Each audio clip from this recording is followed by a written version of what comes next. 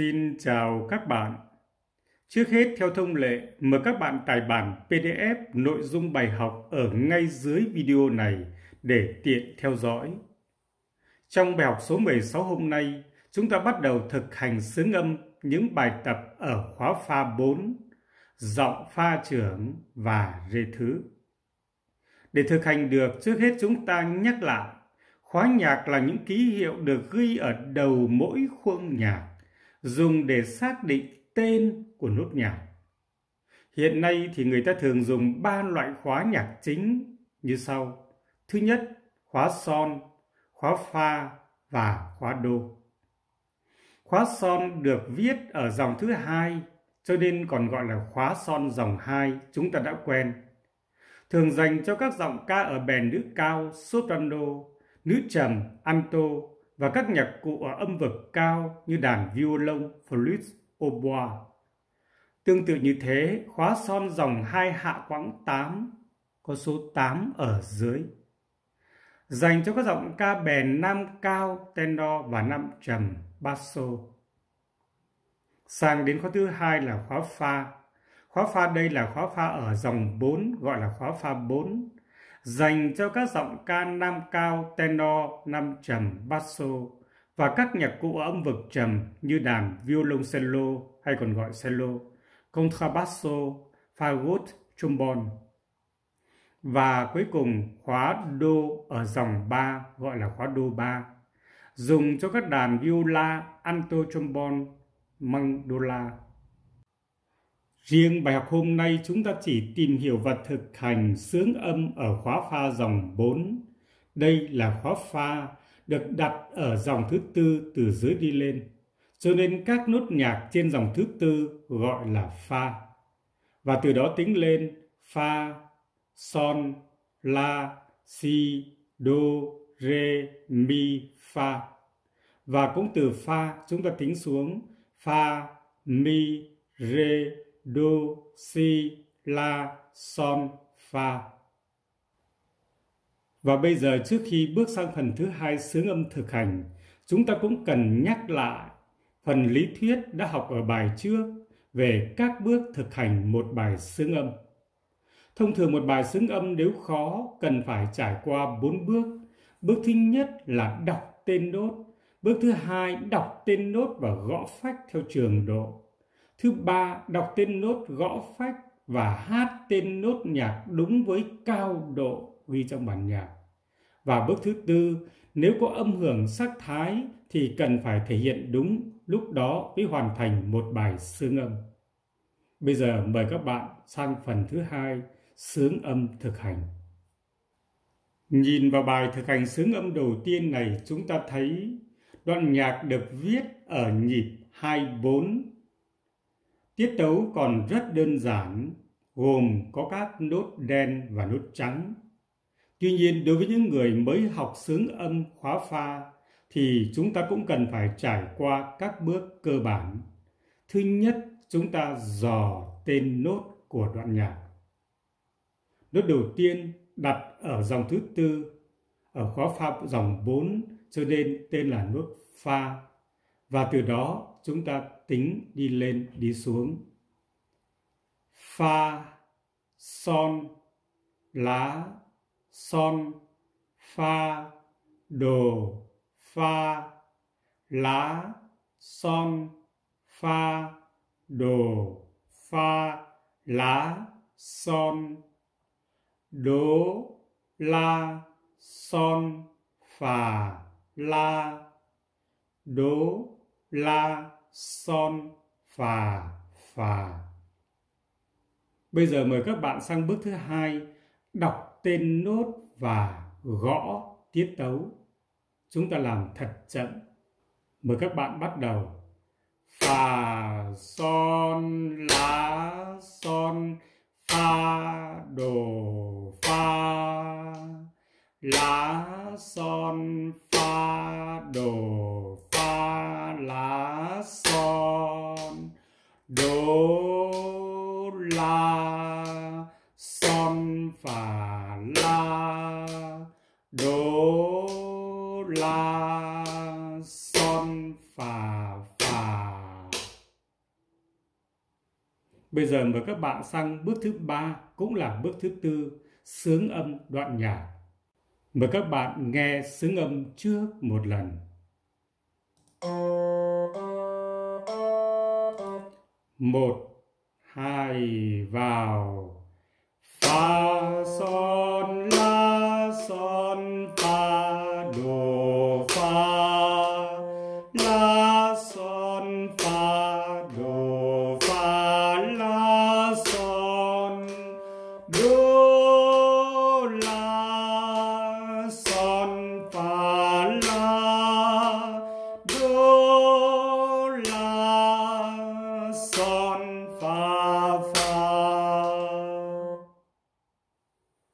Bây giờ mời các bạn sướng âm cùng.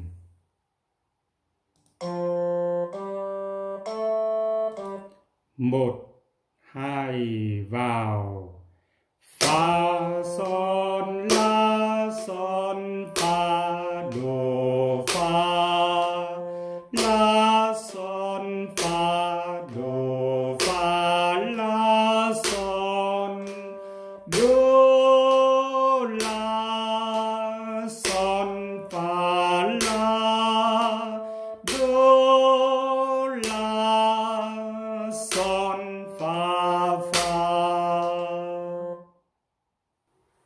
Và bây giờ mời các bạn sướng âm cùng với tiếng đàn. Một, hai, vào.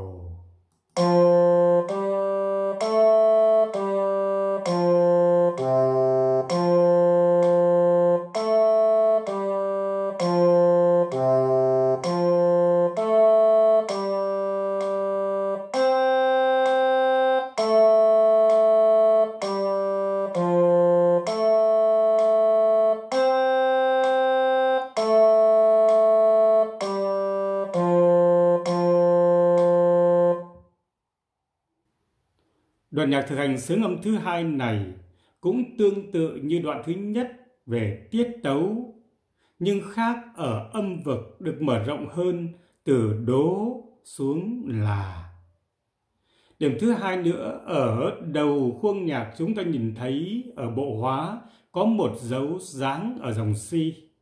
Và theo lý thuyết đã học thì nếu đoạn nhạc có một dấu dáng ở dòng si mà kết thúc ở âm pha thì đoạn nhạc này được viết ở giọng pha trưởng. Bây giờ mời các bạn đi vào thực tập từng bước. Bước thứ nhất, đọc tên nốt. Mời các bạn nhận diện cùng.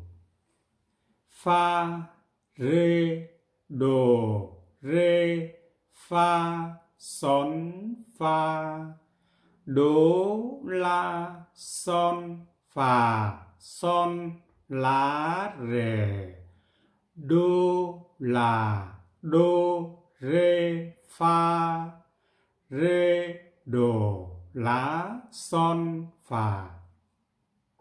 Bây giờ sang bước thứ hai, đọc tên nốt và gõ tiết tấu. Xin mời các bạn cùng đọc tên nốt. Một, hai, vào. pha rê đồ re, fa, son, fa. Do, la, son, fa, son, la, re. Do,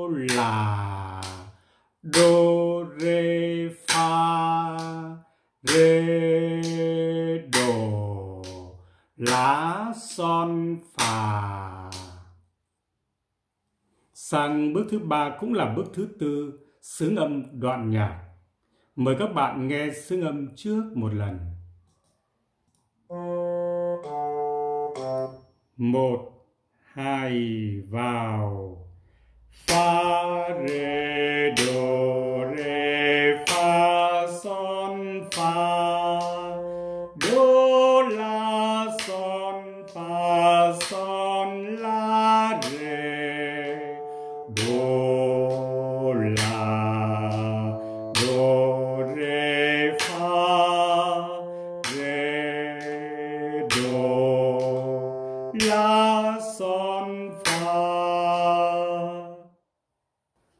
Bây giờ mời các bạn xứng âm cùng. Một, hai, vào. Fa, re, do, re, fa, son, fa.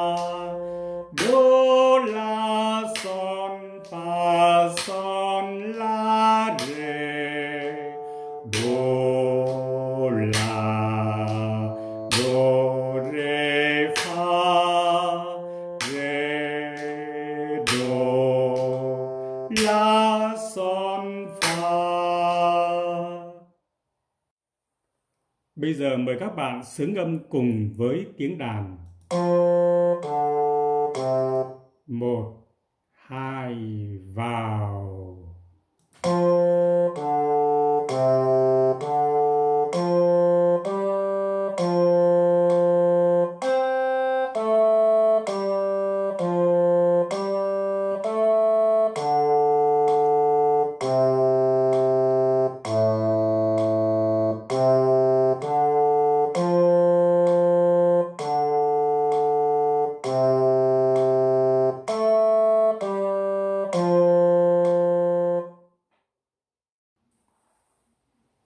Bài xứng âm thực hành thứ ba này được viết ở nhịp 3-4 với tiết tấu khó hơn những bài trước đã thực hành.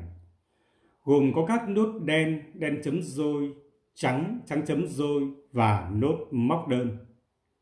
Về âm vực, bài này mở rộng hơn bài trước từ rế xuống là. Về nhịp thì đây là nhịp 3-4 chúng ta đã quen xứng âm ở những bài trước. Về dấu hóa có một si dáng được kết thúc ở âm rê, cho nên đây là đoạn nhạc ở giọng rê thứ.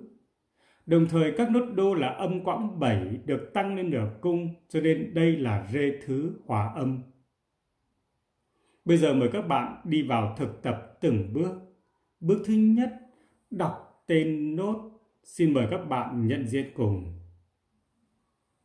Rê, mi, fa, lá, phà, son, mi, fa, rè, rè, fa, la, rè, đu, si, la, son, la, đố, la, phà, son, fa, mi, rê, đô, là, là, lá, son, fa, mi mi, do, mi, re, do, là, re.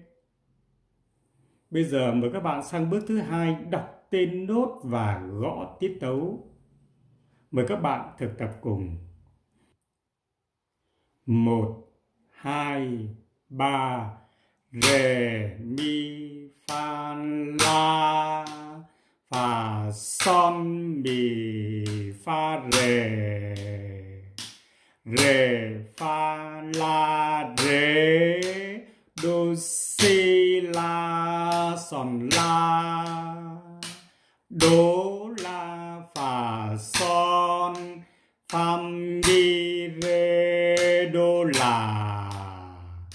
La la, son fa mi mi đồ mi rê đồ là rê.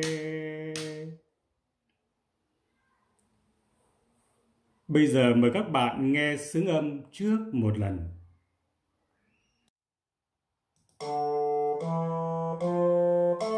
Một, hai, ba, vào. Rê mi, fa, la.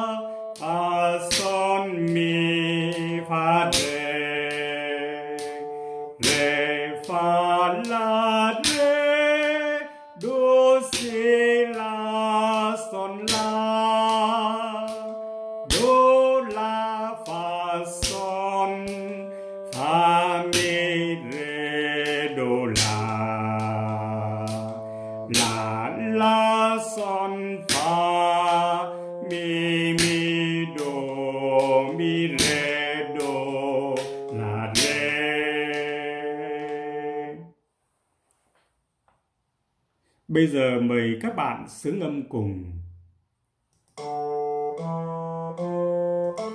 Một, hai, ba vào. Re mi fa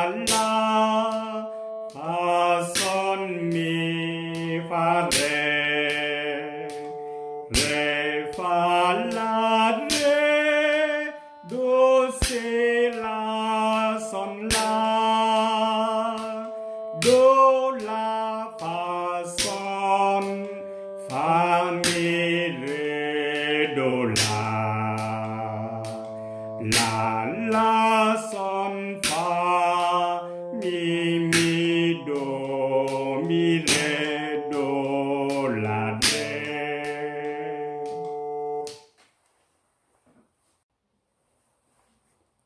Bây giờ mời các bạn xứng âm cùng với tiếng đàn. Một, hai, ba, vào.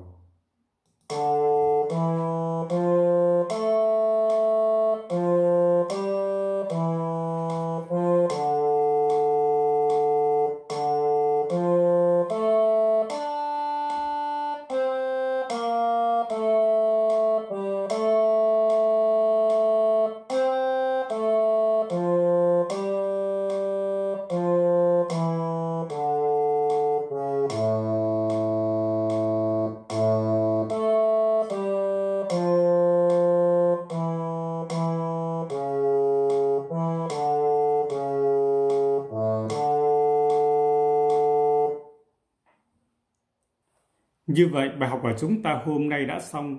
Mong các bạn dành nhiều thời gian ôn luyện để có thể sớm làm quen được với các bài tập về khóa pha. Xin chúc các bạn thành công và hẹn gặp lại trong bài tới.